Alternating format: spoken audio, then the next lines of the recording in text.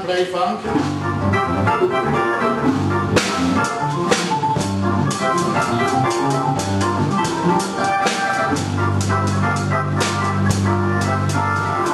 Or a typical Santana, you know?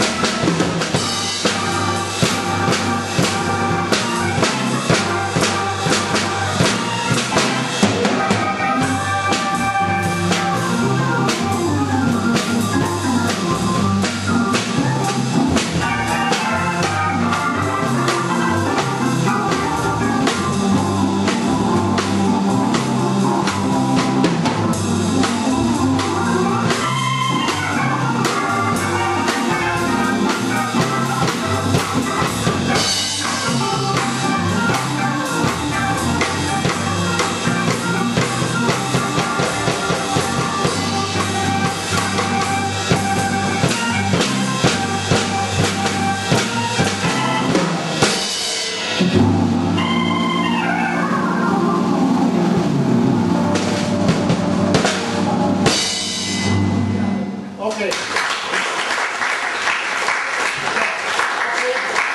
I'm closing my little